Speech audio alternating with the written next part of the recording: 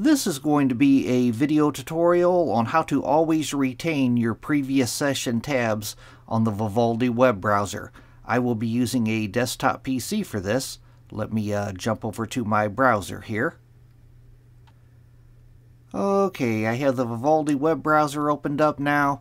As you can see up top here, I have four tabs open right now. If I was to close my browser, then reopen the browser, these same four tabs would, uh, would reappear.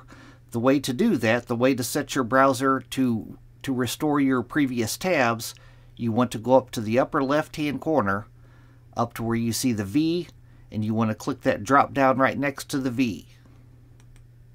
Then you want to go down to where it says Settings, and click on Settings. Now in the dialog box that opens up here, you can see I, I am on the General tab.